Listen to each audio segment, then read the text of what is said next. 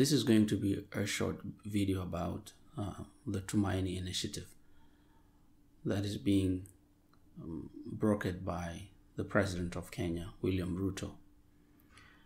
Uh, there are many people who are not happy with the Tumaini initiative, especially the people in the SPLM IO, SPLM in opposition, which is led by uh, the vice president, uh, Riek Machar.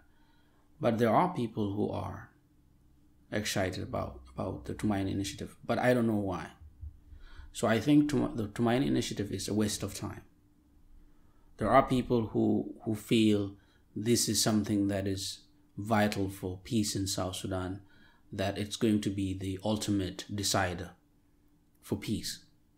I don't know why.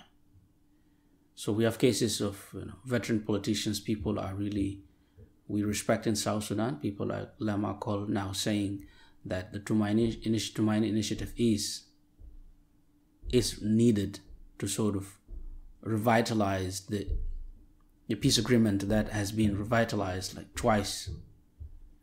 So I think the Tumaini initiative is a waste of time because, for one, President Kiir has shown that he's not interested in implementing an agreement.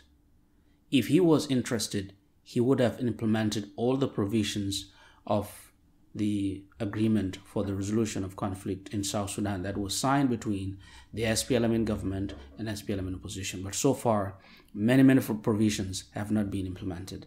And also, even the protocols that have been implemented, the president undermined some agreement, some agreements between SPLM-IO and SPLM opposition. So the idea that President Kiir is going to be excited to implement Tumaini initiative when he didn't implement the, the other agreement is surprising for me. Why? Is it because he doesn't respect Riek Machar and then he respects those of Malong Awan and Pagan Amum? Why? Why would that's something I don't I, I haven't haven't understood from people who say the Tumaini initiative is going to be the ultimate decider for peace in South Sudan.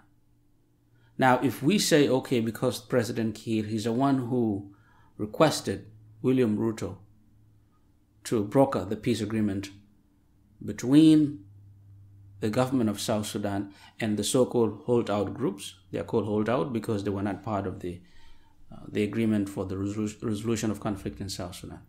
If that is the case, if we say because President Kiir is the one who initiated and then called the other groups to the table with William Ruto as as the negotiator, then we have to know the other other initiatives the president commissioned, like the national reconciliation.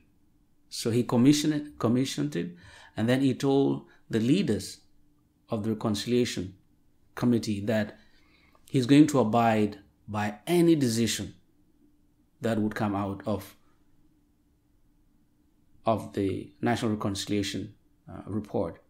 Now they came back and what the people said was the two principals, Riek Machar and President Kiir, are obstacles to peace, to national development, and also to people reconciling. So they requested them to leave. What did the president do? He never respected what he said. So the idea that President Kiir is going to respect my initiative when he never respected all others, initiative is unconvincing. And I'm waiting for people to tell us what is different this time. Why should President Kiir respect this agreement and not the other ones? And we've seen that the people who are being put in charge now, like Kuol Manyang, are people who've said negative things against the Truma initiative, Tumaini initiative. So I'm not convinced and I'm not really sure why Dr. Lam Akol thinks this is a good initiative when he knows this president is not interested. It is surprising for me.